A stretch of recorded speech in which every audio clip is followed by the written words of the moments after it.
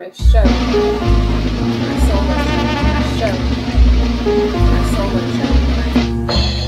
Laural Retz. Hi. Hi, I'm Laural Retz. This is my video diary.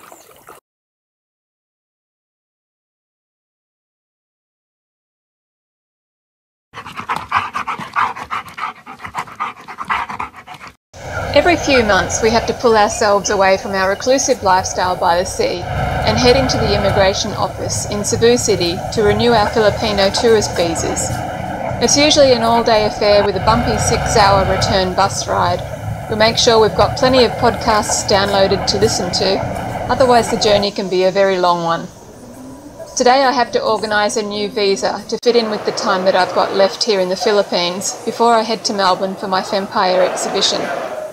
Compared to some countries, I'm very impressed with how quick, efficient, and helpful the immigration staff are here. In fact, the hardest part about the whole day is the travelling.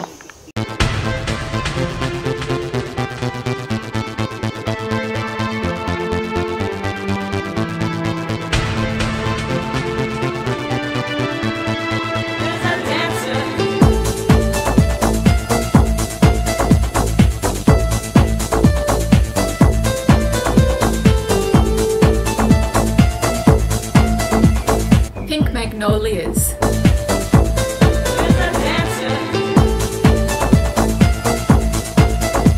Flower heads.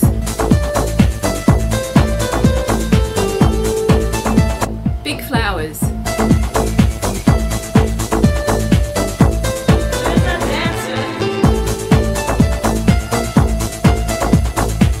All parts of my painting pink magnolias.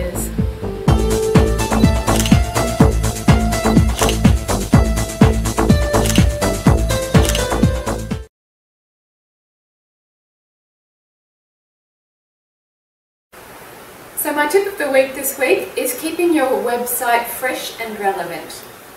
As an artist, it's very important to have a website as a place to showcase your work and any news from your art studio. But with a website comes a responsibility, and that's to keep it fresh and relevant.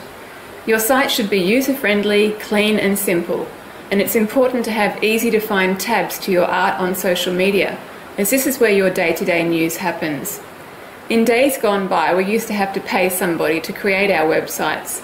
Now there are a number of free website builders which allow you to create your own site, which are easy to use and allow you to design the site exactly how you want it. If you've been running a site for a year or more, a good idea is to revamp it regularly. I give mine a complete freshen up about every six months to keep it socially relevant. So, my tip of the week is freshen up your website.